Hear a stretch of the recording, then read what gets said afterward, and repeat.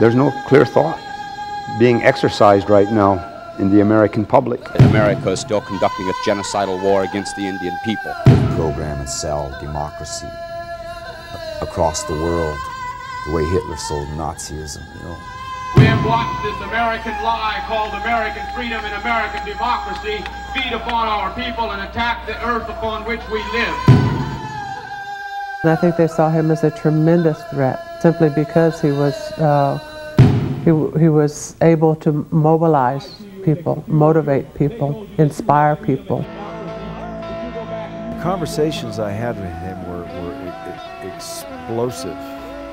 I would imagine it was not too dissimilar from what some people feel when they talk to the Dalai Lama. We have lying dormant in us, we have a genetic memory.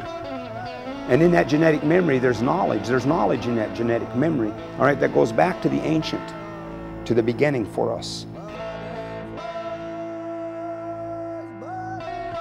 He was warned in, in jail that his family could be in danger, you know, the way he's carrying on I burned the American flag as an act of protest against the injustice that is being extended against all of the people.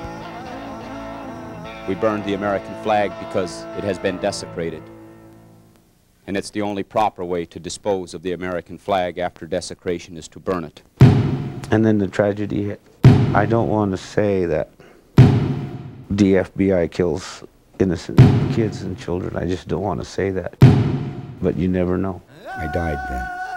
I had to die in order to get through it. All through the course of the years of all of this, all I did was talk. you know?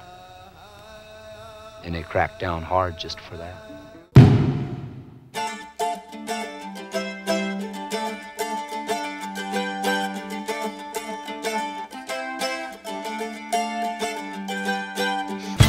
Prototype people, rigid suit trolls near brain dead under for spacious skies, gathering storm clouds. Rule of law, a falling axe in stormtroopers' hands. Cruel class deceivers claim God for their side, making up stories with places for meanings to hide. Dracula drinks deeply while nourishing his trap, the love of mankind in alluring narcotic rap. Oh. Sex does love, sex is life.